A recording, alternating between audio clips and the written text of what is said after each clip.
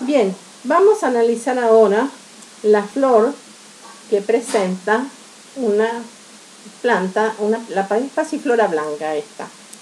Este, ya hemos visto hojas, arcillos, otras, este, las estípulas. Este, ahora vamos a hablar de la flor. La flor nace, es solitaria, nace en el mismo nudo este, que la hoja y los arcillos. En cada nudo hay entonces hoja, zarcillo y flor. Este, y como vemos, ¿eh? este, esta todavía no abrió, tiene por fuera unas brácteas, tiene un, pedúnculo, unas brácteas de protección y cuando abre se transforma en esto que está al lado. Eso que está al lado, que ahora la vamos a arrancar para describirla con más precisión. Esa florcita A ver si la puedo sacar. Ahí está. Bien. Esa florcita entonces tiene algunas, es una flor más compleja que habitualmente, este, pero tiene algunas particularidades, algunas cosas que seguramente ustedes van a poder reconocer. ¿eh? Se la llama flor de la pasión, este, porque tiene una simbología este, relacionada con la pasión de Cristo, que el que le interesa la puede este, buscar. Este, fíjense, acá están las tres brácteas eh, que servían de protección. Vamos a ir señalando estas que están acá. Después, de, con este, colores parecidos, blanco verduzco, vamos a tener el cáliz formado por los sépalos, eh, estos que están más afuera, esto que estoy señalando, por dentro la corola, este que estoy señalando acá es uno de los pétalos, este, color verde blanquecino, entonces tenemos los dos ciclos de protección, ¿eh? Y fíjense, me van a decir este, cuál es, eh, a qué tipo de flor pertenece, fíjense que son pétalos libres, cuenten cuántos pétalos son, ¿eh? y me van a decir cuántos, fíjense que los pétalos son los que están los más blanquitos, me van a decir este si es mono o dicotiledonia, además. Eso queda de tarea para la casa. Esta flor tiene otras características.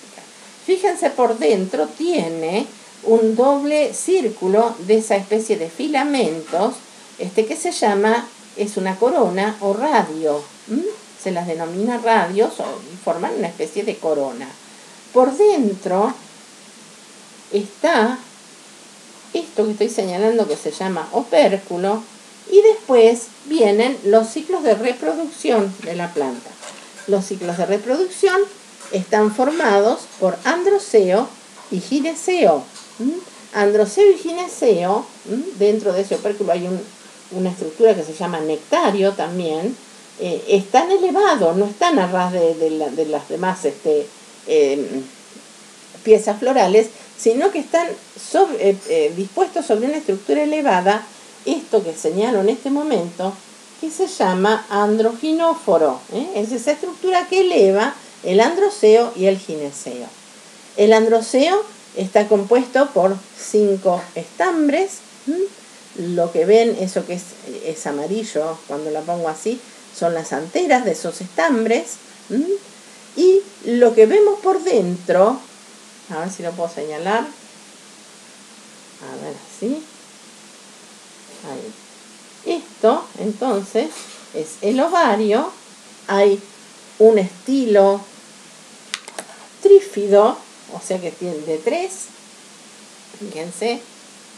Entonces, estilo con sus estigmas es trífido, tiene tres. Se divide en tres. ¿eh? Entonces, ovario y estilo trífido. Vamos a ver desde acá si lo puedo señalar mejor. Ovario, este, estilo trífido y esos serían los ciclos de reproducción. ¿eh? Entonces, repasando, nace en el mismo nudo que la hoja y el zarcillo, tiene tres brácteas de protección que ahí persisten.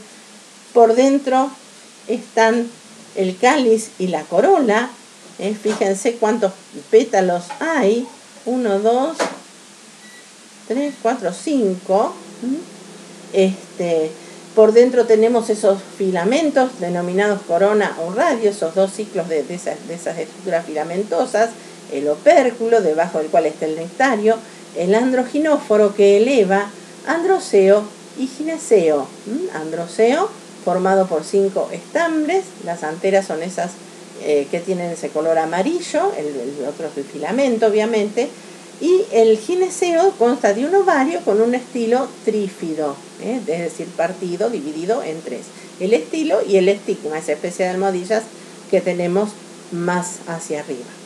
Bueno, muy bien. Es entonces la flor de la pasión, la flor de una pasiflora, que es una enredadera.